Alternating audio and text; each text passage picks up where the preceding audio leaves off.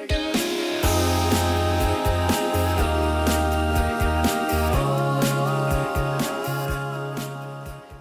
week's Parsha is Parshat Acharei Mot, and it talks about a few topics including Teshuvah. It's interesting because it comes right after Pesach and not Rosh Hashanah.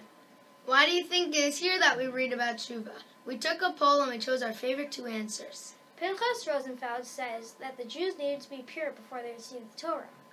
Rabbi Top's answer is that the re- the shoresh of tshuva is shuv, which means return. So tshuva really means return to your normal self. It relates to Pesach because the Jews are going from slaves to being free. Daniel and I feel that it's because when you do an avera, even if you try to forget it, deep inside you there's a bad feeling about what you did.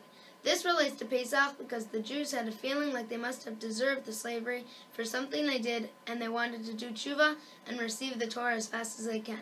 In reality, when a tzaddik does an avera, he worries so much and does teshuvah with all of his heart. When most people do avera, they don't get too worried or disturbed, and they even try to forget it. Really, every avera is a crime. We have to think about everything we do at all times. We must stop ourselves from doing avera.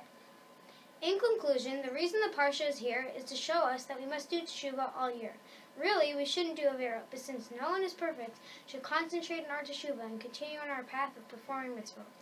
Thank you and Shabbat shalom.